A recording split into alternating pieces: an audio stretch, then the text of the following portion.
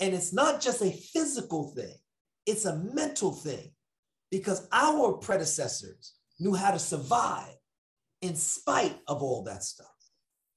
And in it, we have created the only genres of music that the American society has produced. All American music that comes from this country has come from us. Everything else, jazz came from us, gospel came from us, rap came from us, blues came from us. Anything else that's American came from Europe. We have produced, we brought food to this country and taught them how to grow it because they didn't know how to grow it. It was our brilliance that did that. So the greatness is in us. We just need to wake it up. So when I say, where am I from? I'm from those who survived the most unfathomable. We're talking about 500 years. They're not talking about like 40 years, 30, 500 years. And we still are still doing what we do. We still are making it happen. We still are becoming vice presidents and presidents and, and heads of corporations and still running households. We fathering our kids from across town when they won't even let us go see our kids and when they taking our kids away from us and not giving us visitation and we still sending them money and cash apping them and, and meeting them on the corner. And we, we have figured out how to be great. We just need to acknowledge that greatness. So that's the fourth question. And the last question is where am I going? What you gonna do with all that greatness? Where are you going in life? What's your plan for success? My brother Robert just went like this I'm going up, I'm going up. But what does up look like? Visualize that. I'm gonna own a house. I'm gonna own several businesses. I'm gonna have I'm gonna have income coming in from different sources. I'm gonna have I'm gonna be in the house with my children. My children will be honored to see me. I'm to have good relationships with my women, right? The women in my life, whether I got, you know, I was in fathers and when I do father programs and say, how many children you have and how many mothers are associated with those children? Because you have four kids and three babies' mamas or feed mothers of your children is not the same as a brother has four kids and one mother. It's just a different relationship. So you got to have a different type of skill set to deal with that. Where are you going? When we have our reunion in 10 years, right, Brother Derek? Eh, where, you, where will you be? when we get on that Zoom call and say, hey, where am I? In fact, Brother Mike, next year, same time, same time, just schedule me to come in and I'm going to ask, so where we at now? Right? right? Where are we? What's your plan for this year? And not just the goal, but the plan to make that goal a reality. Every day, get up to do something. I heard TD Jakes say this once, and it just it just changed my mornings. You know, you wake up in the morning, I see, yo, she gonna wake up. You know, you kind of rub the foot, see you, you know, whatever. She don't get no feedback. You just get up and get out of bed because you know whatever. You know it ain't gonna happen this morning. Whatever. You know, yeah, Derek know what I'm talking about. He's laughing. You know what I'm saying? Just, ain't gonna happen this morning. So you just get up. And, and it's I, but DJs and I'm you're gonna be transparent. I'm not the morning person. I'm the night person. I want to do it. so, so you know what I'm saying? Like I, I just let, let, let, me get my mask up. I don't want to be racing. So like, damn, I'm right. for the, the, bus, right? I take my time doing what I got to do. But anyway, but you know, but the, the thing about that is, is when you got stuff to do, you don't have time. Everybody's like, yo, you see this on Netflix? No. Mm-mm. I ain't no time to be watching Netflix. I got to schedule Netflix right? I gotta schedule time to watch stuff on Netflix with the family. Other than that, I got stuff to do.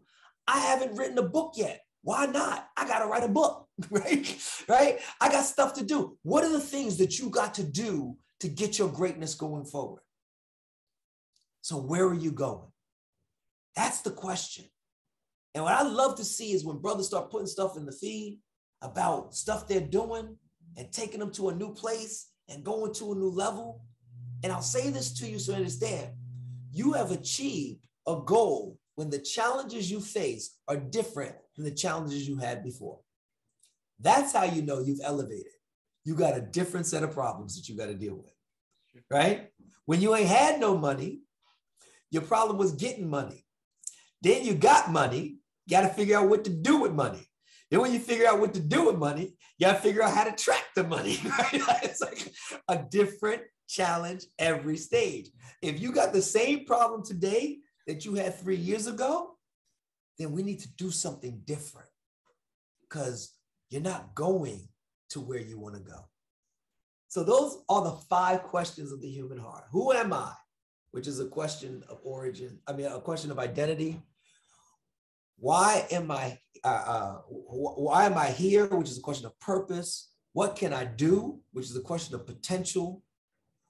Where am I from? Which is a question of origins. And where am I going? Which is a question of of direction, of destiny, right? So I would say iPod. If you think about the iPod, I-P-P-O-D, iPod. Identity, origins, I mean, identity, purpose, potential, origins, and destiny. Those are the five questions. And when we answer those questions, we're gonna rock this world, man. We're gonna do it up. We're gonna make it happen. And he let life circumstances overwhelm him.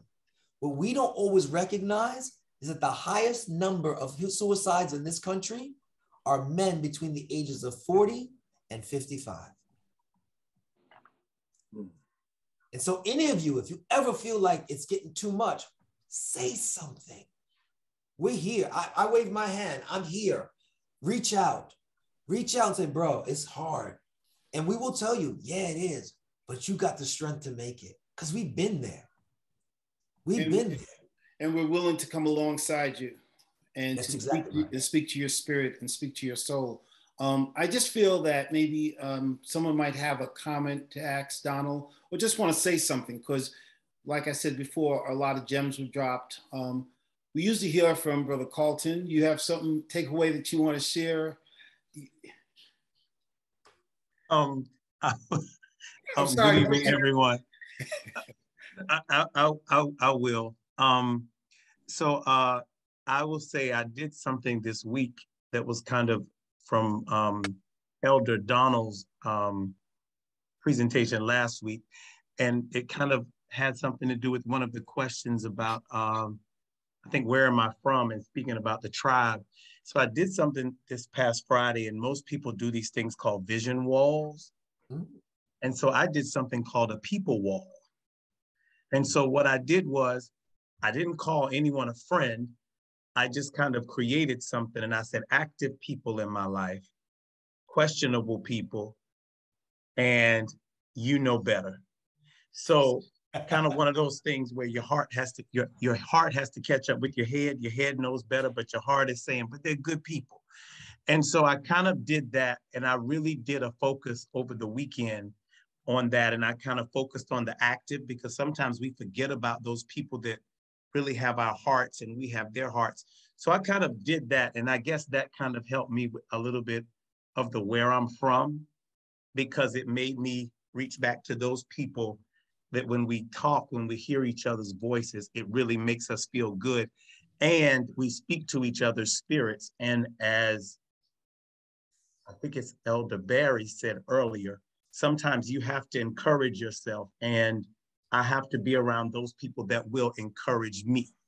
And so that's what um, was a part of that active uh, moment of the active friends. So that was my takeaway last week. And so it was good to hear you say that.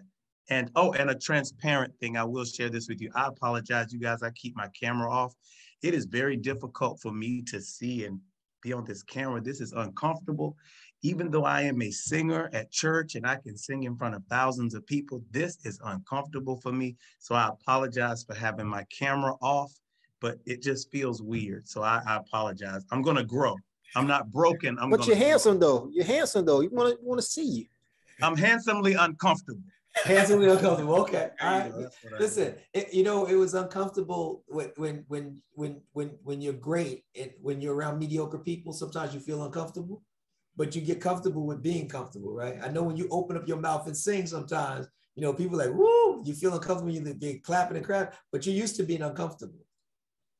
Uh, Brother Donald, no matter where you are in life, is you always just feel that it's not enough. So even as I sit here and I look um, uh, across this this this this Zoom, uh, I see greatness. I see greatness.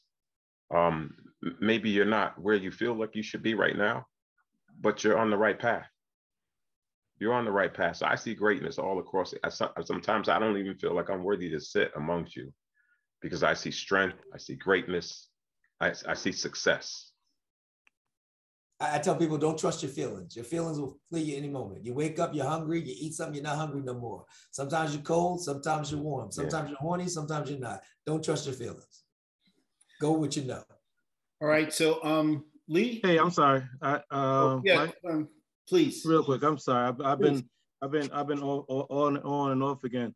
I've been um trying to make uh, quite a few changes this year, and this 2022 has been uh, actually um amazingly uh, productive so far, and um I've I found the need to uh, uh, cut ties with a lot of um, uh, people and, and, things I was doing professionally and and, and personally to try and get focused and, and get myself um, uh, back on the path that I need to be on and focus more on my family, myself, my myself.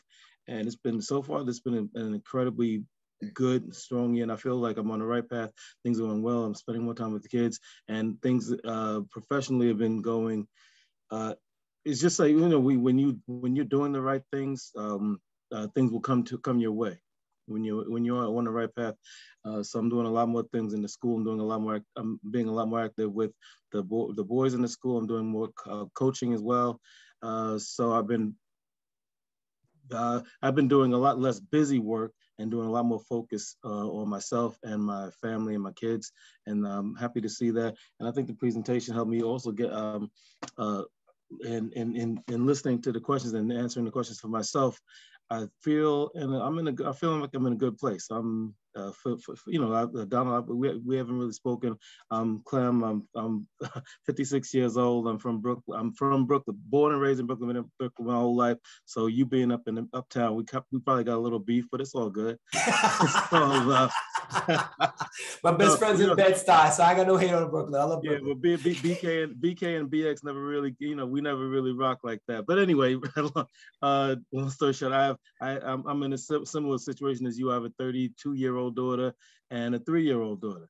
so, and my, my, my two sons are 28 and 10. One who was just over here with me. Uh, so um, it's my second marriage, and I get along with with my former wife. My, actually, my former wife still carries my last name, which we used to annoy me, annoy the hell out of me. But we're we're good now, and um, things are going really well. I got a few things coming up at the school I wanted to share with you, brother. I tried to share it earlier in the chat, but I was having some technical issues but I have a couple of um, uh, mentoring, uh, potential mentoring uh, possibilities I'd like to involve you brothers with if, if you're available. And um, that's it. I just want to say thank you for the presentation and th thank you for the energy because I love I love being around, uh, amongst positive positive energy because uh, it, it, helps helps fuel me and keep me um, engaged. so thank and thank all of you, brothers. I, I appreciate the camaraderie. I, I, appreciate all of the uh, all, all everything that you guys bring to the table. It just helps me stay focused. And even though even if I'm not here, I stay I keep abreast of the WhatsApp chat. What WhatsApp chat? WhatsApp chat. Uh, you know, uh, uh, Uncle Mike checks on me. I have a couple of brothers who who are familiar with me. They, they, uh, Leo, uh, Ron, they, they, they reach out to me all the time, and we, we, we, you know, we keep up pretty close. So, um, yeah, even if I'm not here, if even if I'm not here physically, I'm always with you guys. so I appreciate you. I appreciate the love. Thank you. And we appreciate you. Thank you so much. You are on the right path. I have no doubt about that.